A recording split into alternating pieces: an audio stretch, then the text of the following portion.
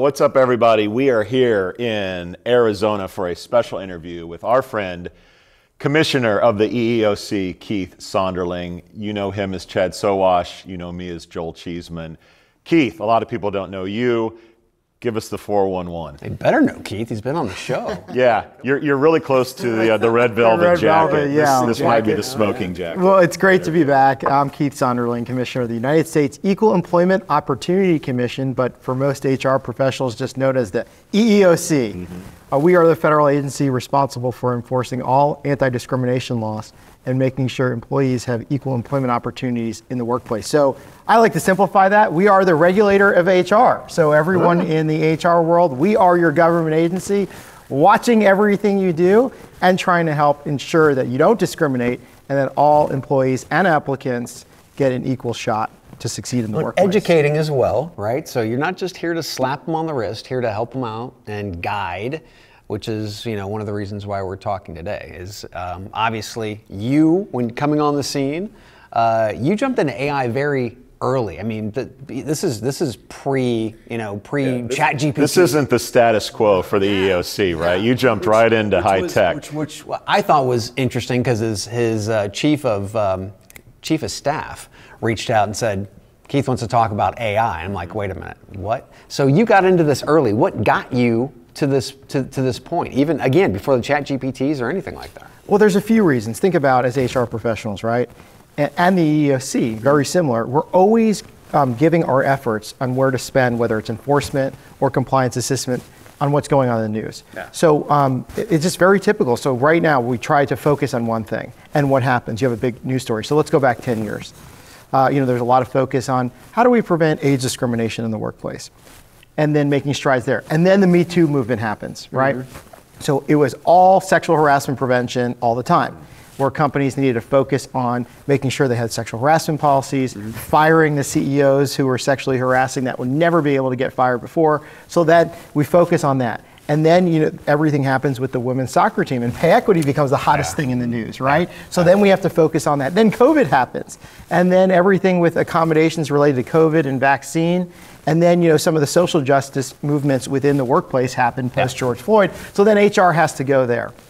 So that's the way HR is, just by the nature of the job. That's the way the EEOC is. Mm-hmm. Always sort of, I don't want to say distracted, but always kind of pivoting to what's in the news. So I said, you The know, shiny ball syndrome. Right. So how do we actually prevent something from happening like we've seen before? Mm-hmm. How do we focus our efforts? How do we say we'll always have something in the news pushing us in different directions? But how do we slow down and see what the biggest issue is going to be in the future? Mm-hmm. And how do we put resources there in advance to make sure whatever that issue is, it's actually going to work and not cause discrimination? So when I got to the EEOC, I started reaching out to HR professionals start reaching out to um, lawyers in this area and say, you know, what are those futuristic issues that are going to be happening within HR? And that's how I was able to talk to, you know, guys like you, you know, people who didn't normally interact with the EEOC because overwhelmingly everybody said technology in the workplace is going to be the number one issue, not only facing the workforce, but facing human resource departments. So I had to dive into exactly what that meant. And then I stumbled upon the world of HR technology, where you guys have been living for a very long time. And you know, trying to understand it, trying to get my arms around it, has been a process, and I still continue to learn because, as you both know, um, as everyone out there knows as well, from A to Z of the employment relationship, from A to Z of HR functions, there are some technology and software out there promising to do it better than humans have done it. Yes. And that is why I've been interested in it, and that's why I've been spending my time in there because that's where our focus But I mean, but humans haven't really done a good job in the first place. So I mean, this is I mean, there's some there's some good and bad, right? So we, we we're talking about how you know AI could prospectively have bias and so on and so forth. Well, I mean, we've had bias since you know humans were created, for goodness sake. Which So- led to the creation of our agency. You know, our agency was created out of the civil rights movement in the 1960s after Martin Luther King um, marched in Washington, D.C. It led to the creation of the Civil Rights Act, which created the EEOC. So since then and before then, there's obviously been a issue with bias in the workplace, whether it's hiring, whether it's firing, whether it's promotions. Um, so, you know, we have to look at it now when technology is being thrown into that equation. Well, what have we been dealing with since the 1960s, Yeah. since these laws were Yeah. enacted, and that's human decision making. And that's sort of the struggle I think a lot of HR professionals are dealing with. A lot of corporate regulators, um, p- corporate buyers of these products are trying to deal Right. with as well. Yeah. Is saying that okay, here's a new technology promising to help us do what we've been doing, and because it's new, we don't understand it, and we don't understand how we're going to implement it. But let's let's take a step back and say, well, what are your processes and procedures right now related to human decision making? And you'll find um, that there's not many of those processes and procedures to begin with, and now we're going to put a heightened level on um, the AI, and there's good reasons to do so. So, you know, to your point, it's really interesting. We're saying, well, what are we dealing with now if we're not dealing with technology? Well, I love piggybacking on that because uh, your statements about Me Too and George Floyd, you make it sound like a dog chasing its own tail. But in, in knowing you the last few years,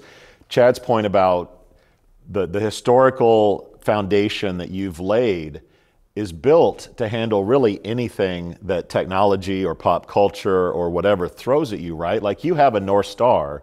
It's just a matter of taking what's going around and keeping on that main uh, foundation that you had when it was first built. Yes? Yes, and it's easy for us because we're dealing with some of the most fundamental civil rights we have in the United States, and that's the ability to enter and thrive in the workforce, to provide your, to, for your family without being discriminated against. So, yes, that's a really great point in the sense where no matter what the issue is, no matter what, whether it's technology, whether it's humans, whether it's the news, whether it's COVID, right? We have our guiding star, star which is the Civil Rights Act, and we always look back to that on, on where we're putting our priorities and what the remedies are going to be for complying with it or not complying with those laws.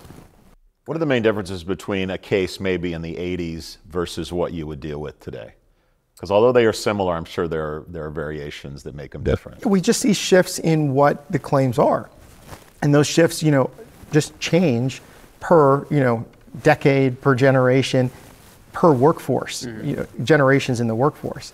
And, you know, today we're dealing with types of claims that 10 years ago were very, very low, such as, you know, disability claims.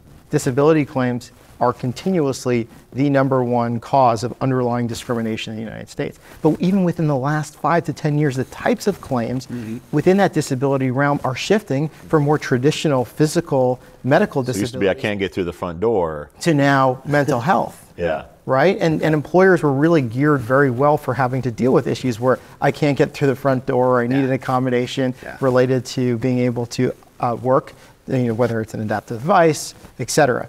Now it's shifting to mental health and all the issues with anxiety, depression, and PTSD in the workforce, which we have to deal with as well. So I think you know you have to look at it per generation in the workforce, per um, trends that are occurring outside of the workplace that are going to certainly have a large impact within the workplace, and that it's continually shifting. But that's exactly what HR professionals have to deal with too. So I really just taken a different approach. Instead of reacting to that, saying, oh, the Me Too movement happened, now we need to send our federal investigators just to deal with Yeah. um, sexual harassment Yeah. claims. Yeah. You know, with technology, I'm looking at, well, let's be proactive. Let's tell everybody in this ecosystem, which is much different than we've ever seen before from the federal government, on what their roles are in each point. Because, you know, it, the, the, the world now of HR technology is much different than the EEOC is used to dealing with and from you guys as HR professionals because we have a lot of different people in that equation. So, you know, we start about the amount of money, and I know you guys follow this closely, being invested into HR technology. Yeah. Well, we need to make sure that those who are investing, the, the VCs or private equities that are investing in these technologies, have enough information where they're not going to give money to create a product that's going to discriminate, right? Right. And they speak a different language than we do at the government and then HR professionals. Mm-hmm. And then the entrepreneurs who are willing to go out and try to solve an issue when it comes to either removing bias in the workforce, making it more efficient, et cetera, whatever these products are designed to be, that they understand what the rules of the road are. Because you know, if they're able to develop these products, a lot of them you know, weren't trained in HR. They were trained in actually how to create AI and machine learning and all this. So Right, they're speaking right. a different language than us. And then in the middle, um, and I'm not saying the worst position, but let's just assume being in the middle comes with, uh, you know, being hit from all directions. Oh, yeah. You know, those are going to be the companies who are looking to buy these products and trying to implement these products, right? So they need that, to be able to understand what it, um, questions they need to ask to the vendor. Yeah. And then they need to understand what to do internally. And then finally, and most importantly, and I think we'll all agree, is going to be the, the employees and applicants that are going to be subject to these tools.